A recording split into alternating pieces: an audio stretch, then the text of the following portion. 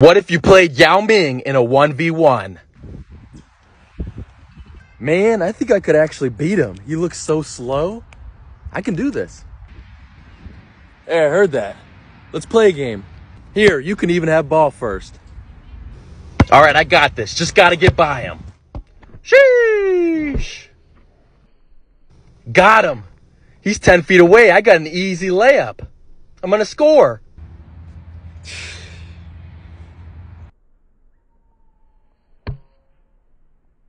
Wait! How did he block that? He was so far away. How long are his arms? I'm gonna have to try something crazy here to score on him. Through the legs.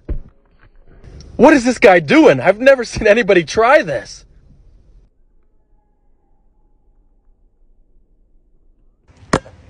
All right, my turn on offense. Hey, that's not fair. Too bad, little man. Hey, shoot a jump shot. I dare you.